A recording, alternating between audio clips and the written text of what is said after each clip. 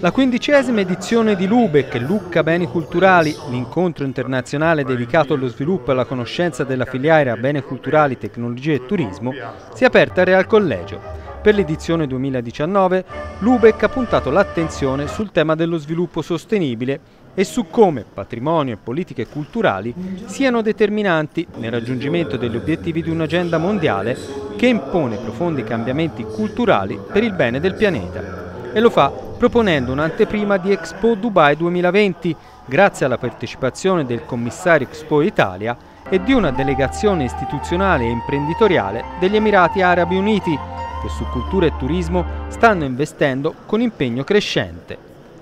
Oltre che importante momento di confronto, obiettivo primario di Lubeck è la formazione di operatori culturali, nel pubblico e nel privato, in grado di sviluppare l'impresa della cultura attraverso nuove politiche, innovazioni tecnologiche e soluzioni tecnico-operative. Siamo quasi maggiorenni, se è vero che eh, fra un po' daranno il voto ai sedicenni, voteremo anche noi l'anno prossimo. Siamo molto contenti e in particolare perché quest'anno abbiamo con noi gli Emirati, eh, una delegazione importante degli Emirati e abbiamo, eh, che abbiamo voluto con noi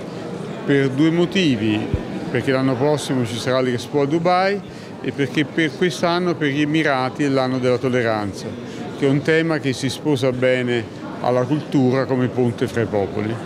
All'interno della Kermesse sarà presentata un'importante innovazione tecnologica dedicata alla salvaguardia delle opere d'arte. Macchina, un acceleratore di particelle creato dall'Istituto di Fisica Nucleare dal CERN di Ginevra. La sua unicità sta nell'essere portatile, un vero e proprio cannone di protoni che cambiando l'energia possono penetrare diversi strati di un'opera d'arte ricavando informazioni importanti sia per i restauratori sia per gli storici dell'arte.